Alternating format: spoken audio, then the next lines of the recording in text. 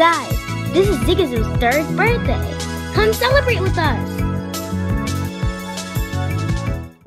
Don't forget to hit that bell. That's all, folks.